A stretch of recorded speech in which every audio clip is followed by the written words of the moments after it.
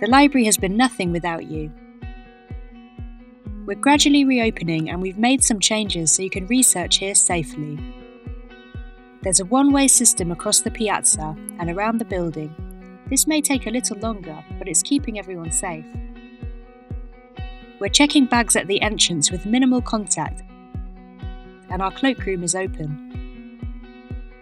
If you can bring items in a clear plastic bag, you'll get in even quicker. We've installed screens at service points to keep everyone safe.